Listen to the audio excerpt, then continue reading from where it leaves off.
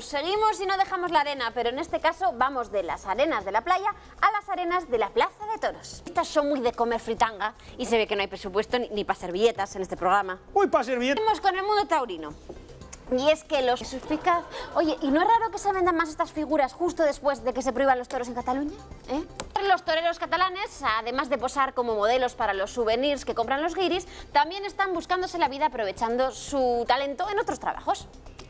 Puede, pero yo sí. Eh, pero, pero no podéis porque estoy en horario infantil. No, es que no vas a morir, te vas de viaje a Groenlandia. Pero Berta, no me puedes matar, que soy una chica. ¿Sabes lo que ha pasado?